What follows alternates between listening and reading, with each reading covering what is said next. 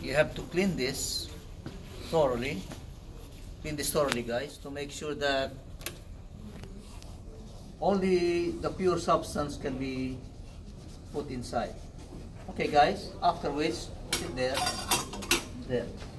Let's say, for example, this is the pure sample. Just an example, huh? You pour the sample up to the groove. Up to the groove. Up to the groove.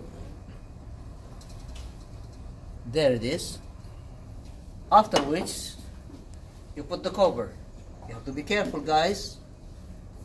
And make sure that you do it correctly. There it is. And then you lock it. Okay? Can I have one thermometer there? Uh, a good one. Is that working? And then, after which, guys, you insert the thermometer. You insert the thermometer here.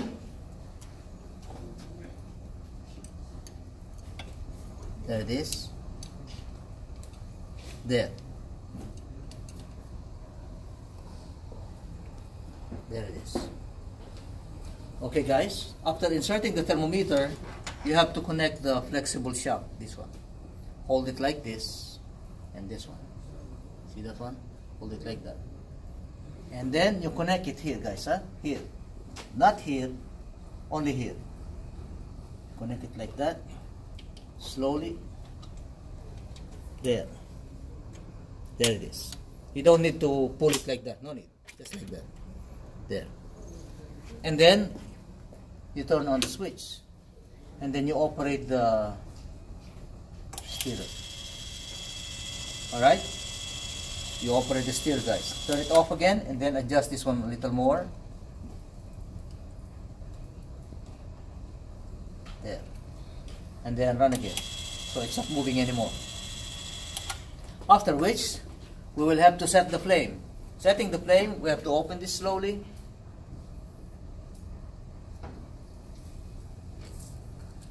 And then,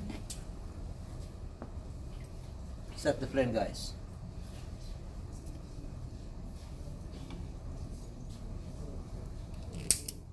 There it is. There is your pilot flame guys. And then your test flame is this one. So you pull it like that and then there. Adjust the flame and then push this. That's it. Okay guys, now the next thing you will do is then operate this.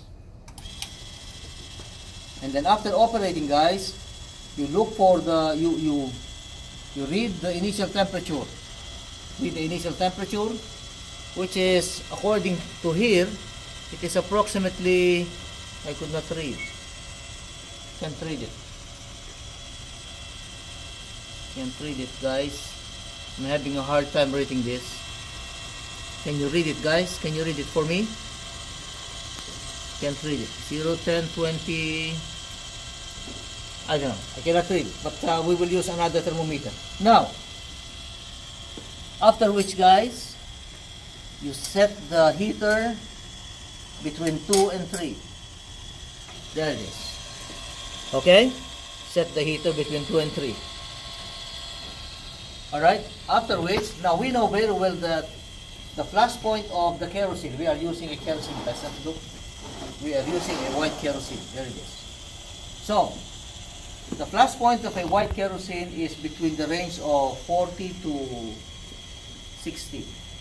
Within the range of 40 to 60. So, when the temperature of the kerosene is at about 35, you start at 35.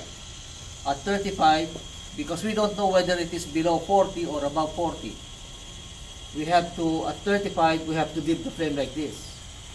There. You don't need to be quick. You just have to drop the flame like that. Dip the flame like that. Now, at each increase in temperature, 35, 36, you dip the flame. There. Okay, 37, there.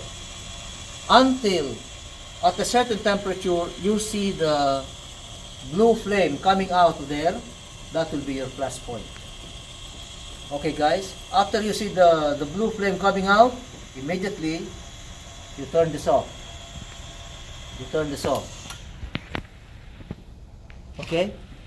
And it's done. You get the flash point. Understood guys? Any question? Very good, no question. Okay. Last thing guys, next, what do we do next? The viscosity? Okay, pause guys, pause. Next is the Next, uh, viscosity.